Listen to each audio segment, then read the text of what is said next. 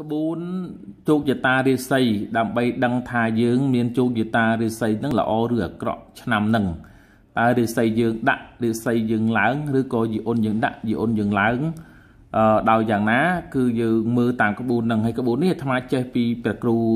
បញ្ញាសេរីភោគរស់ព្រះនុគុណសុខលវីអែមខេត្តកដាឥឡូវលោកគ្រូបានឡើងជា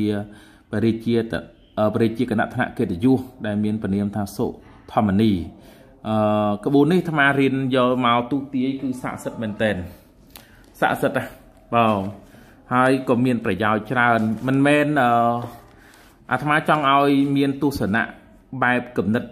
សុទិដ្ឋិនិយមថា នេះគឺជាបោះខ្មែរយើងណាដែលលោកបានរក្សាទុកមកហើយក៏មិនមែនថាឲ្យយើងជឿទាំងស្រុងដែរយើងជឿខ្លះខ្លះទៅណាបាទឥឡូវយើងដឹងថាតើអ្នកនឹងមានជោគយតារិស័យល្អឬមិនល្អយើងអាចមើលឃើញ ឥឡូវអាត្មាមើលថាម៉េចអត់មើលឃើញក្បួននេះលោកឲ្យយើងអឺយកអាយុរបស់គេអាយុពិតរបស់គេណាឧទាហរណ៍ថាអឺមនុស្សប្រុសនឹងឯងគាត់ឆ្នាំជូតឥឡូវឆ្នាំជូតណាគាត់ឆ្នាំជូតហើយគាត់នឹងឯងខ្ទង់ជាង30 30ជាងបើ30ជាងអញ្ចឹងយើងដឹងថាខ្ទង់30ជាង តែយើងមិនដឹងថា30ប្រមាណ អញ្ចឹងយើងមើលដឹងយើងដឹងទៀតថាគាត់នឹងខ្ទង់30អាយុប្រមាណយើងមើលតាមនេះគេមានក្បួនរាប់អាយុរបស់គេនេះក្បួនរាប់អាយុណា10គឺរាប់10 20រាប់8 30រាប់6 40រាប់4 50រាប់2 60រាប់12 70រាប់10 80រាប់8 90រាប់6និង100រាប់4អញ្ចឹងដើម្បីដឹងក្បួនថាជោគយតារាសីរបស់គេនឹងឡើងឬទាបស្រកឬក៏មិនស្រកអញ្ចឹងណាអញ្ចឹងយើងត្រូវតែ ដឹងអាយុរបស់គេថាគាត់ឆ្នាំជូតខ្ទង់30អញ្ចឹង30រាប់ប្រមាណ30រាប់6នេះមិញអាត្មាមើលមិញណា30រាប់6អញ្ចឹងយើងរាប់មើលអឺជូតឆ្លូវខាថោះរោងម្សាញ់ណា6 6បានន័យថាគាត់6នេះគឺ30សំដៅលើ30ណា30ហើយណាជូតជូត ឆ្លូវខាថោះរោងម្សាញ់ម្សាញ់ហ្នឹងដល់ម្សាញ់គឺរាប់6បានហើយគឺបានន័យថាអាយុ30 30ហើយបើយើងរាប់វិញរាប់រាប់ពី1ទៅវិញ30ណាម្សាញ់ជូតឆ្លូវខាថោះរោងម្សាញ់ណាម្សាញ់6ហ្នឹងគឺ30មមីមម៉ែមមីមម៉ែបករកាចកោជូតគាត់អាយុ37ណា37ខុសខាតអីអធិស្ឋានផង ថតវីដេអូថ្ងៃលោកវាមិនសូវមើលទៅឆ្កំឆ្កង37 37យើងយកធ្វើម៉េច37យើងមកបូកនឹង12 12ហ្នឹងគឺអីគឺ12ខែ12ខែឬ12ឆ្នាំណានេះអា37ហ្នឹងគឺជាអាយុរបស់ឆ្នាំជូតហ្នឹងអាយុ37ហើយហើយបូកនឹង12 12ហ្នឹងគឺ12ខែ12ខែដឹងថាខែហ្នឹងវាមិនមិនចឹងណា បូកឲ្យយើងបូកមើលឃើញប៉ុន្មាន7បូកនឹង2គឺ9ហើយបន្ទាប់មក3 3នេះគឺយកមកបូកនឹង1មក4 4ហើយយើងនឹកឃើញមកគឺ49 49យើងយកមកគុណនឹង3គឺគុណនឹងវ័យទាំង3របស់យើងនេះរបៀបក្បួនមើលរិស័យប្រចាំឆ្នាំណាមើលមើលទៅនេះគុណនឹង3គុណនឹង3នេះឆ្នាំជូតណាអាត្មាចង់និយាយអាត្មាស្អីឲ្យឆ្នាំជូត ជូតខ្ទង់37ចឹងយកមកគុណនឹង3គឺគុណនឹងវ័យទាំង3មានរឿងរ៉ាវយ៉ាងម៉េចក្នុងវ័យទាំង3ហ្នឹងអញ្ចឹងយើងគុណមើលអឺ9ម្ដង9 9 2ដង12 9 3ដង9ម្ដងអូច្រឡំ9ម្ដង9 6វាដង18 9 3ដង27ណា9 3ដង27ចឹងហើយ9 3ដង27 27សេលេខ7 ត្រាទុក2ណាត្រាទុក2ណាអាយើងអាយើងគុណមិនថានៅម្ដង3ម្ដង3វាដង6 3 3ដង9 3 4ដង12 12បូកនឹង2 14បាទ14ណាណាហើយបន្ទាប់មកឃើញហើយ យើងចែកអើយើងគុណឃើញហើយនេះឃើញ147គឺចែកនឹង7វិញចែកនឹង7គឺសំដៅទៅលើចែកទៅលើ ថ្ងៃទាំង7 រាសីរាសីទាំង7ថ្ងៃរបស់យើងថ្ងៃទាំង7យើងចែកនឹង7មើលអញ្ចឹងយើងកាត់ពីខ្ទង់7ម្ដង7 7 2ដង7 2ដង14ណាដាក់ក្រោមមក14 14សង14 14សង14សមបានមិនសល់0មែនទេ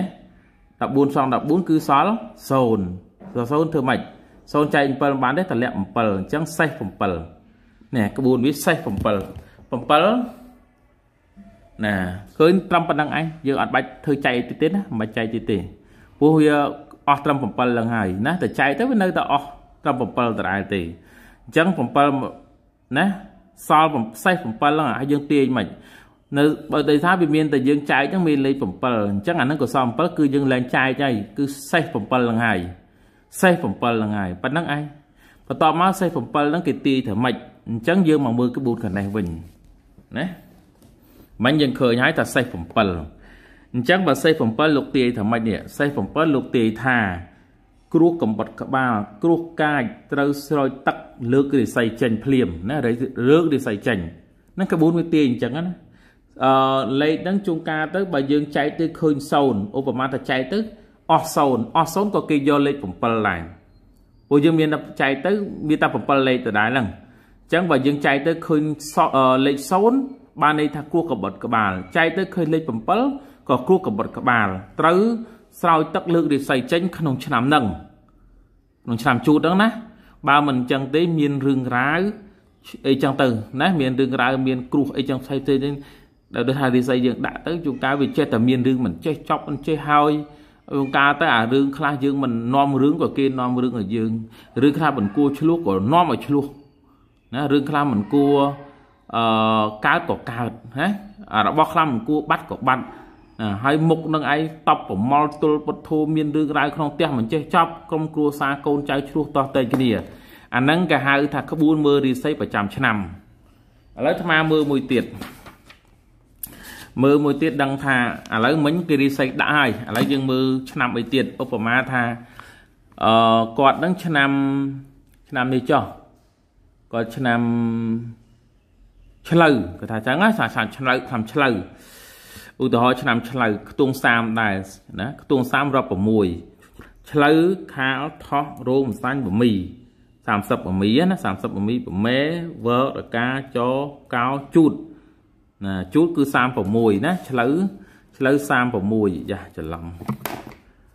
ថ្មមើលលើកជាទី2ឥឡូវមើលឆ្នាំឆ្នាំឆ្លូវ36បូកនឹង12គឺ12ខែហ្នឹង ឬ12ឆ្នាំហ្នឹងណាបូកមើលឃើញបាន6បូកនឹង2 8 4 4 4នេះទៀតណា3បូក1 4ហើយគុណនឹង3 8ម្ដង8 3ដល់6 8 3ដល់24ណា8ម្ដង8 8 2ដង16ម្ដង24 24សេលី4ត្រាទុក2អឺ3ម្ដង3ម្ដង6 3 3ដង9 3 4ដង 3ម្ដង3 3 2ដង6 3 2ដង9 3 3ដង9 3 4ដង12អានមេលេខជាតែខុសមាត់3 4ដង12 12និង2 14ណា14 14យើងចែកនឹង7ណាចែក7ថ្ងៃណាឥឡូវយើងចែកមើលយើងក្បៀសមក7 2ដង14ណាហឹមបើវាដង14 14សល់14 0តម្លាក់4ណាអញ្ចឹងសេះ4នេះ ណាគឺយើងឃើញសេះ4ណាសេះ4យើងទាយតែមិនក្បួននេះគេទាយតែមិនសេះ4ណែដល់ពេលទាយណាឆ្នាំឆ្លូវក្នុងឆ្នាំហ្នឹងក្នុងឆ្នាំជូតហ្នឹងសេះ4មានន័យថាល្អណាស់រាសីខ្ពស់មានលៀបដូចសេចក្តីប្រាថ្នានេះគេដែរណាសេះ4នេះឃើញសេះ4ហ្នឹងលេខ4ហ្នឹងណាសេះ4ហ្នឹងល្អណាស់រាសីខ្ពស់មានលៀបដូចសេចក្តីប្រាថ្នាអាត្មាទុះទាយគេកន្លែងហ្នឹងគឺត្រូវមែនតែនតែអាត្មាមិនមែនឲ្យគេយកទាំងអស់ទេ ហើយក៏មិនបខំគេដែរអ្នកមកហ្នឹងជួនកាលគាត់ត្រូវការអញ្ចឹងគាត់ចង់ដឹងអញ្ចឹងទៅយើងមើលតើឲ្យវាឆុតពេកក្បូនហ្នឹងមកឆុតបើឆុតហ្នឹងដល់អញ្ចឹងទៅធ្វើឲ្យគាត់មានកម្លាំងចិត្តបើទោះបីគាត់មើលទៅរីស័យដាក់ក៏យើងនៅតែមានវិធីជួយគាត់ឲ្យគាត់នឹងបានធូរស្បើយលហើយក្នុងចិត្តដែរអញ្ចឹងណាបើហ្នឹងគេហៅថាក្បួនមើលរិស័យ